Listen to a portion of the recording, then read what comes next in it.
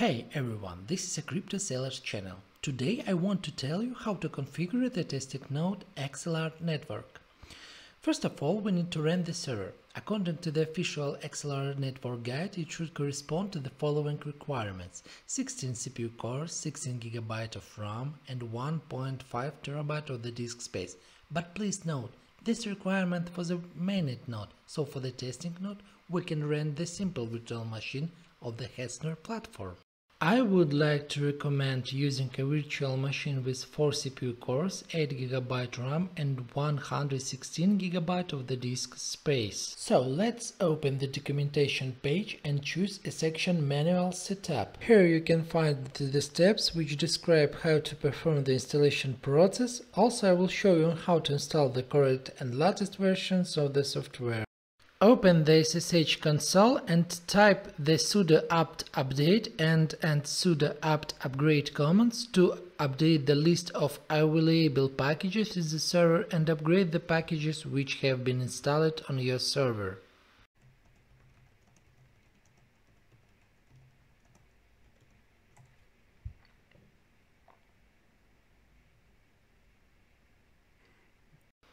Ok, once the update process has been completed, copy the following command from the documentation and run it in console. As we can see, the command has been completed successful. So, move on to the next step. Create the necessary directories and download binary file using the wget command. But please note, during record of this video, I have noticed that the version of axelard binary file is outdated, so we need to change it to the latest one. For this, please open official Axelar GitHub page to check the latest release of the software. As you can see, the latest version is 0.17.0. So, let's download Axelar binary file for our Linux version. For this, click the right button of the mouse and select the line the copy link address. Then open the SSH console, enter wget command and paste the link address that you copied on the previous step and click enter.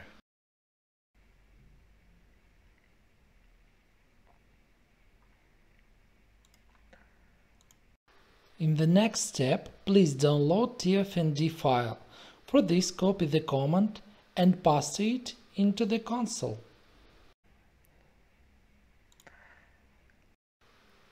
Then we need to rename the binary file which we have already downloaded.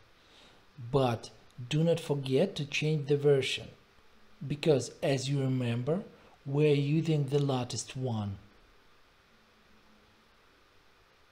The next command we copies without changes.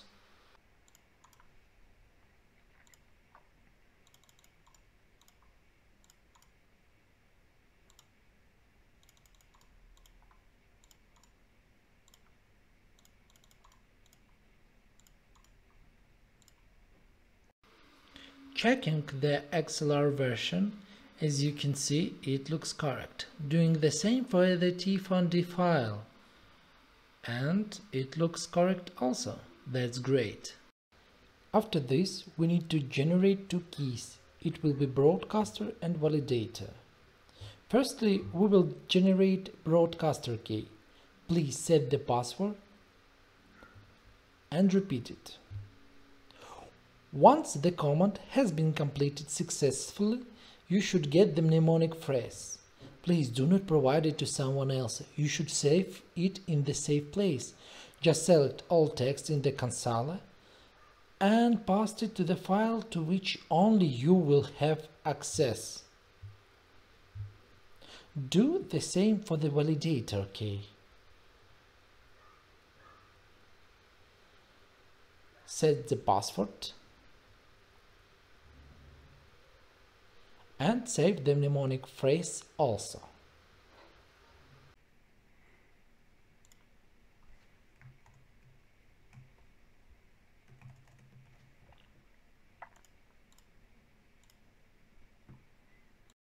creating tofnd file.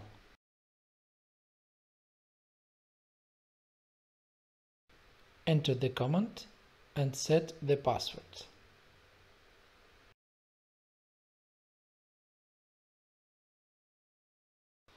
According to the documentation, our tofnd secret mnemonic file is located in the .tofnd export directory. So we need to save it to a safe place and remove it for security reasons.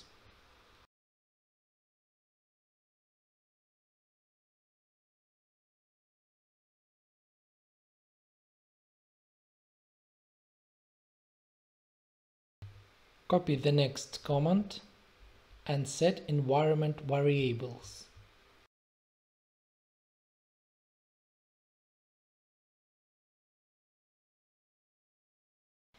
Copy the next command, but you need to change it and set your node name. For this, you need to change the moniker variable from the default to testnet Axelar, for example.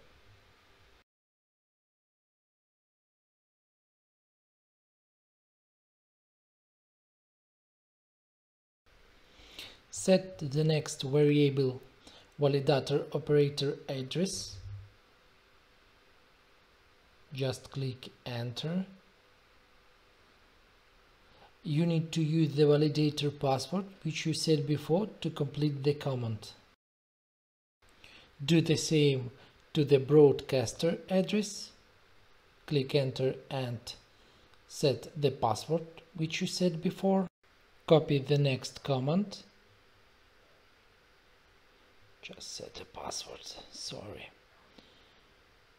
And enter to apply it. Do the same for another one.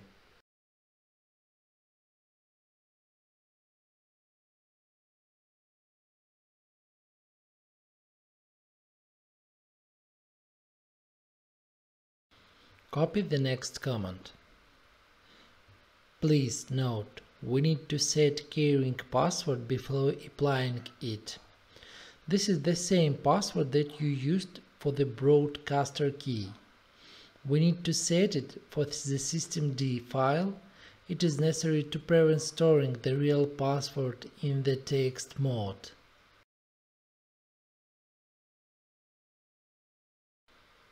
Apply our changes. Move on to the configuration setup and copy the first command, paste it in the console.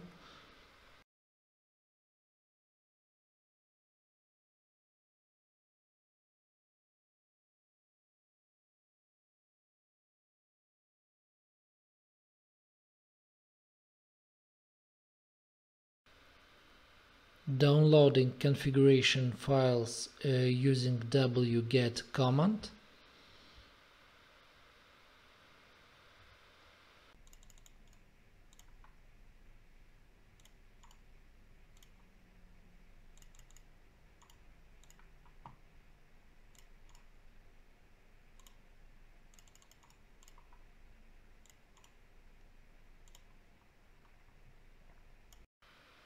After this, we need to sync the node from the snapshot. Perform quick sync.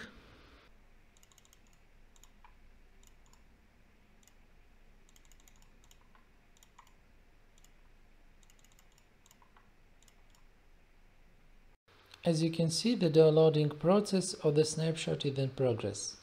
On the right side shows the ETA is 2 minutes, so let's wait. The sync process has been completed, so let's start our node. Sorry, just forgot to apply the latest command, copy, paste, enter. So let's create the file for the axelard service.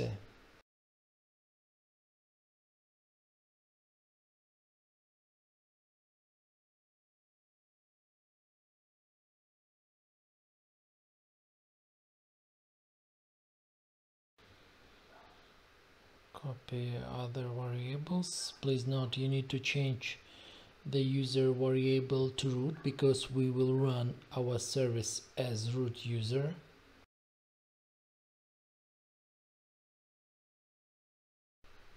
Copy the latest part of the options and paste it to the console. Add our service uh, to the startup creating tofnd's service file.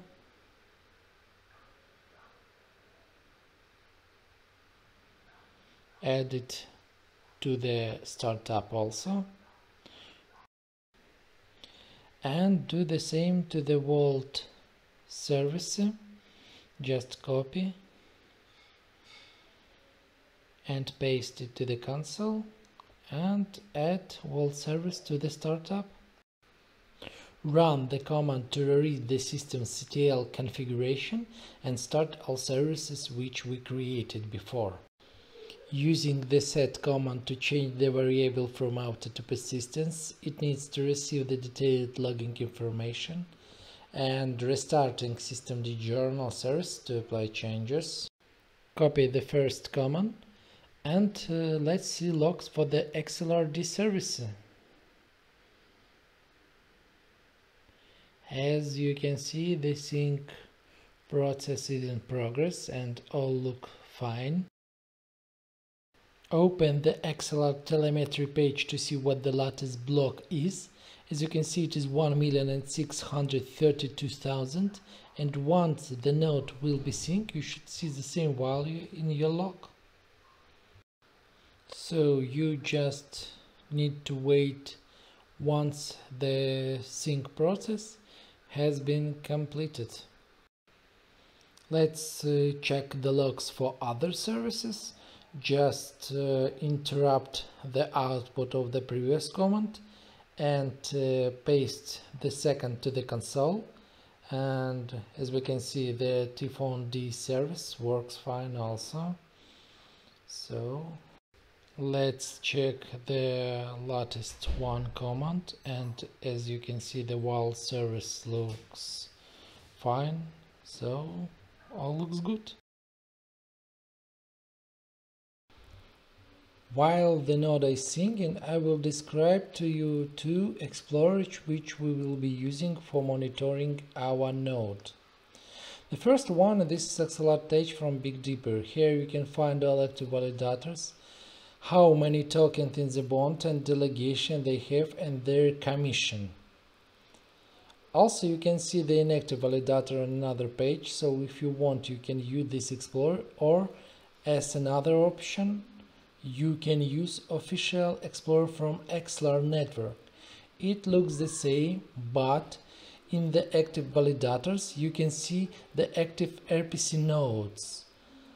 Also, I will show you in the next video how to configure each RPC node that connected to your mainnet node. Also, you can see the active validator. At this time, active set will contain only 15 validators. To be a part of, set, of this set, you need to have enough tokens. Voting power means how many tokens you have in the self bond and how tokens take to you. The minimum count of the tokens should be 3002 token. So you can use your own tokens or get them from the team to get into the active set. When we create our own validator Axelar testnet, by default we will fall into an inactive set, but this should be enough to show that our node works fine. While our node is syncing, we can do the next step and get Axelar tokens on the wallet which we created before. Please note, if you want, you can export these wallets to the Keplr using the mnemonic phrase.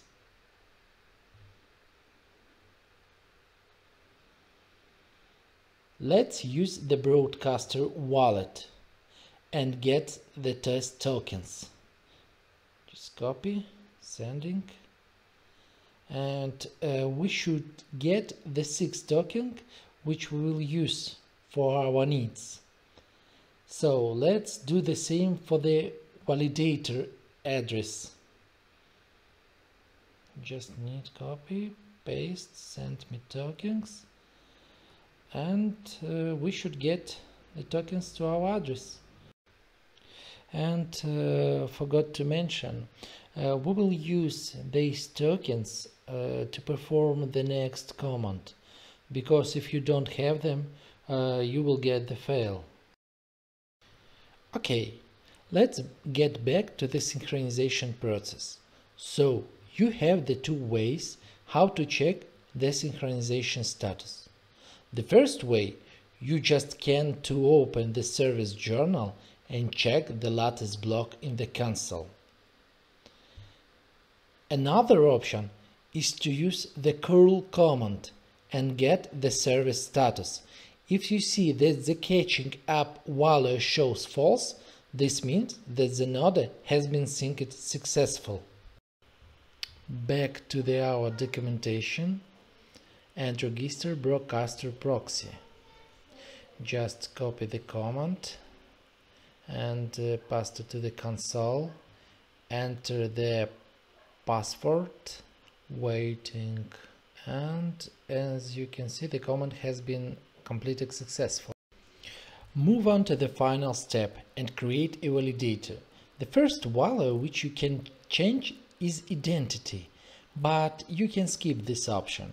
It needs if you want to get an avatar in Explorer. By default, you will have a colorful ball. To get the unique identity, you need to upload it to the Keybase and then get it from it. So I believe it is clear for you. And uh, the next options which we need to set this is amount just uh, copy it and uh, path to console and uh, edit it. So we need to set the value. If we delegate 5 tokens it should be 5 million. Uh, please note uh, each token on the node is shown as like million that's mean uh, two tokens 2 million 10 tokens 10 million. Uh, that's why we use the six zeros. That's done. Then we need to set the denom variable. Click enter. Copy the main command to create our validator paste to the console enter the password and uh, checking that all have been created successful open our explorer and finding our name in the list and you will see testnet axelar all looks fine. That's great. Inside node statistical you will see heartbeat uptime but the uptime value is great for us because we ran node recently. But this is normal. And as I told you before we allocate it in the inactive set. To get the active site we need to get the minimum amount of the tokens 3002 tokens. And our node will look like this. Uh, one in inactive set and that's all in this video. In the next step we need to install the RPC nodes, but I will describe each of them in a separate video. Thanks for being attentive and stay safe. Bye.